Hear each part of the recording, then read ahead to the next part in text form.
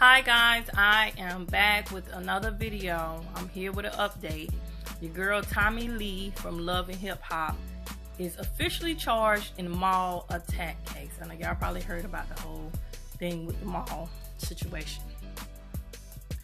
So, according to law enforcement in Fulton County, Atlanta, says that she has been charged with battery and substantial harm and she also is going to have her hearing next week with two separate issues. So the alleged mall beatdown and the 2016 DUI case. You know, this chick had problems with alcohol and this and that and the other. So, you know, she has a DUI case from 2016 that they're going to hear soon too.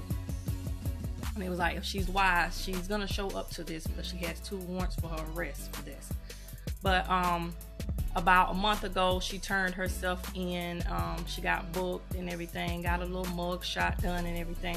But the day after they let her go and all she had to say was it wasn't her she didn't do it she highly favored and blessed. But i just want to keep y'all up on that um, so about um, next week she'll be tried for her two situations the mall beat down and the dui case from 2016 so yeah, I think you might want to show up, Tommie, because you got two different cases, and not to show up won't be so smart.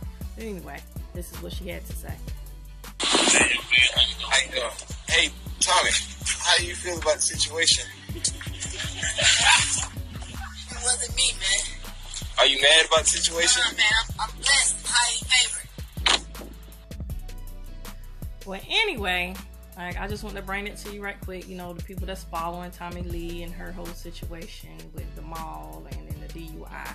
But anyway, leave your comments and your thoughts below and let me know how you feel about this whole situation. If you've been following this or you hadn't been following it or how you feel about it. But anyway, leave those comments below. Give me a thumbs up on this video. Subscribe to my channel if you hadn't already. Subscribe to my other channel if you hadn't already.